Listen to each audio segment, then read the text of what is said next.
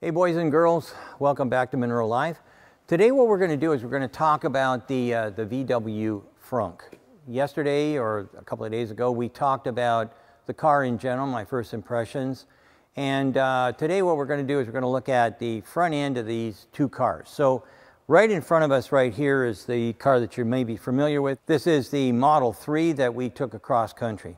So you come out here and you lift the uh, hood and bingo. Now you're looking at a lot of storage area. And as I said when we were traveling, Corey and I were absolutely loving this little box. It was great for us to, uh, to store storage, do storage, have lots of extra things that we could put in here. It made it, uh, made it fantastically easy.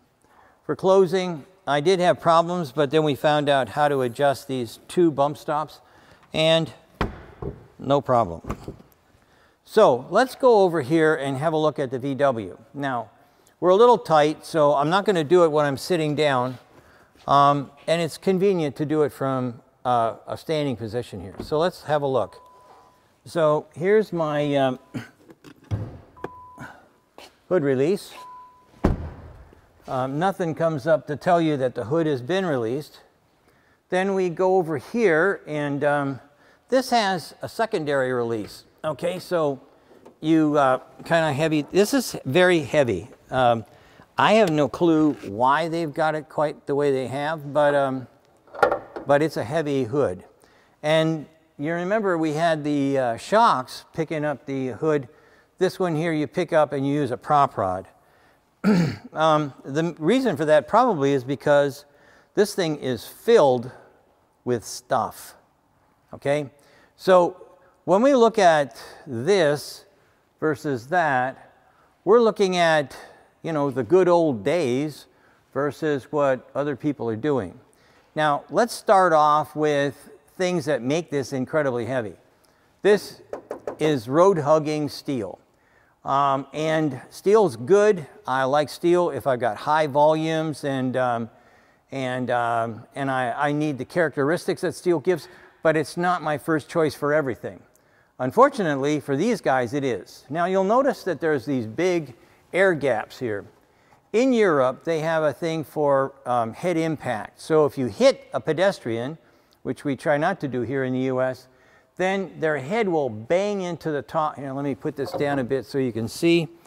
Their head bounces into that, and this is supposed to deflect enough so that the guy doesn't die or, uh, you know, maybe, uh, maybe isn't uh, totally, uh, totally incapacitated.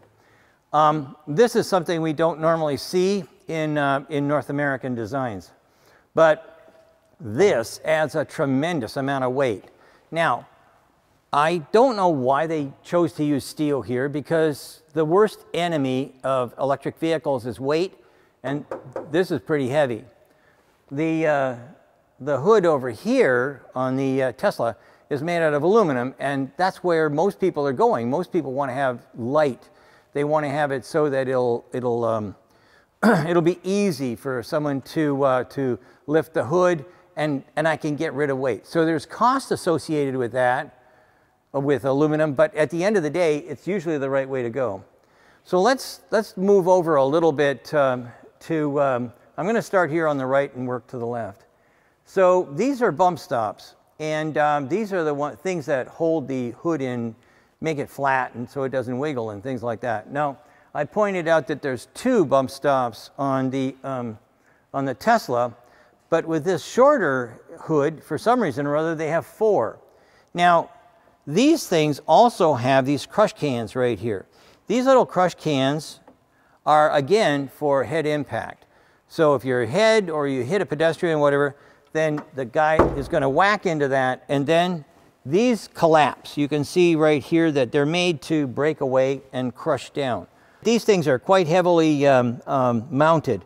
So you can see here that there's a, um, there's a bolt holding it in this place and it's also mounted here to the headlamp. So when this goes down, this is going to be probably taking part of the headlamp with it. So there's going to be a fair amount of uh, damage that's going to go in, in and around this area. And like I say, this has got four where Tesla has two. kind of an interesting deal. Okay, so let's move over to the fuse box. Okay, so when we look at a fuse box here, there's um, 1, 2, 3, 4, 5, 6, 7, 8, 9, 10, 11, 12, 13, 14, 15, 16, 17, 18, 18 fuses. These are relays. There's 18 fuses in here plus an area that we don't know what it is for, but it's for an 80 amp fuse. It, but right now it's not, uh, it's not attached. The big question, of course, is if I have 18 fuses, uh, which one does what? Tragically, that is usually put on the, on the bottom side of the cover. And if you look here, you, you don't see anything. The worst part is to find it, you've got to find F whatever. And the only way you find that is by pulling the fuse out. So now I'm going to ask the big question. How many people watched the previous Tesla teardowns? You can, uh, you can silently say, uh, I did. That would be good. But, uh, um, but I'm going to ask you, um, I'm going to, for, uh, for those people who didn't see the original teardowns, there are none. They have fuses that, uh, that reconnect. They're not fuses like this, that, that uh, when they fail, they're done. You pull them out, put a new one in. Tesla has none of these.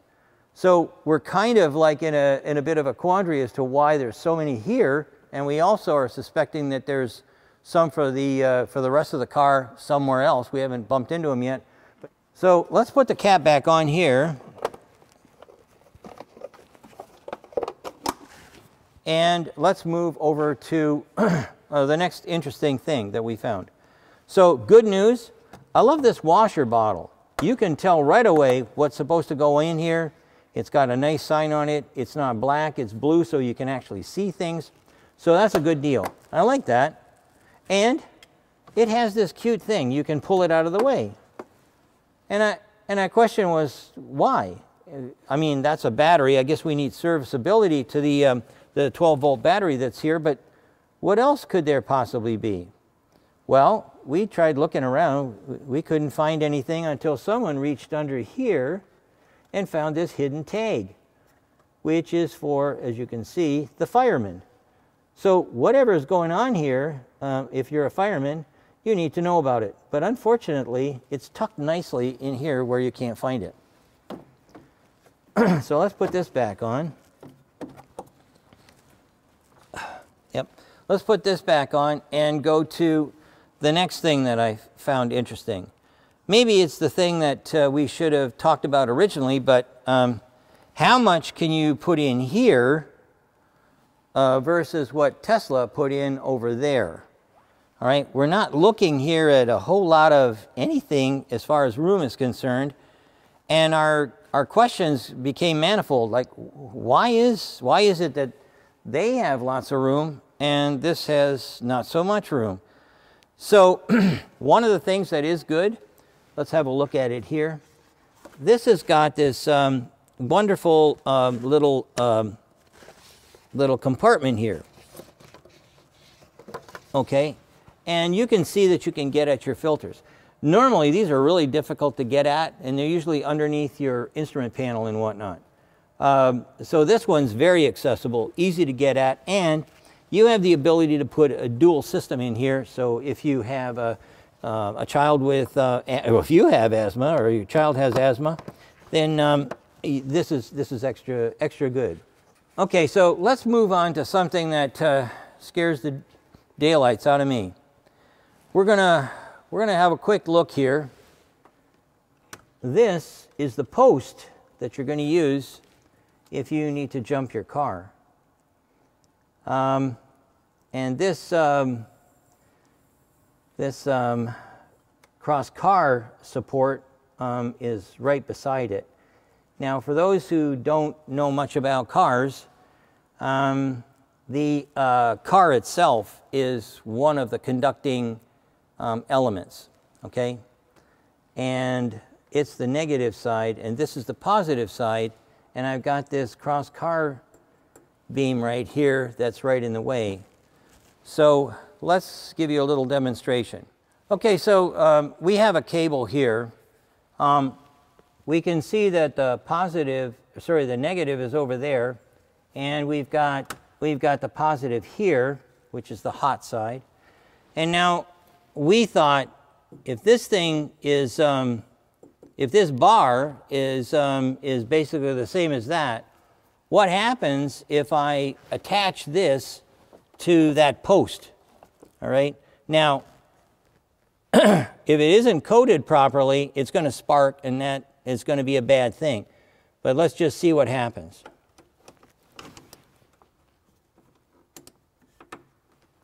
Nothing.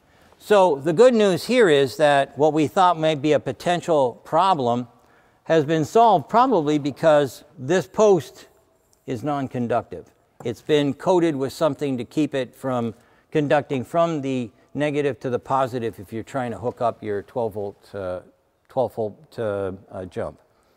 Okay, so so anyway, now that we've had a look at the um, um, at the battery post and we figured, okay, well that's that's a good idea. It's nice and safe. Let's have a look at this brace. This brace is basically here to hold up the HVAC system. The HVAC system, as I showed you a second ago, um, that's where the uh, filters are and whatnot that was a good idea, but I, am really shocked at, at how much um, how much beefier this is than what I'd normally expect to see. This has got lots of uh, road hugging weight again that um, I can't understand. Um, I don't know why I would do that as an engineer. This is kind of like overdone. we, um, we can see that there's lots going on underneath, but we're going to have a um, a hoist review in a little bit, and so we'll, we'll check that out later.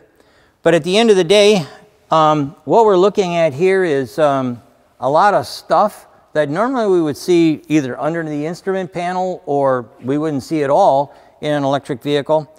We're a little bit um, dismayed that, uh, that uh, Volkswagen didn't take advantage of what could be good space for an operator to utilize or for a, an owner to utilize.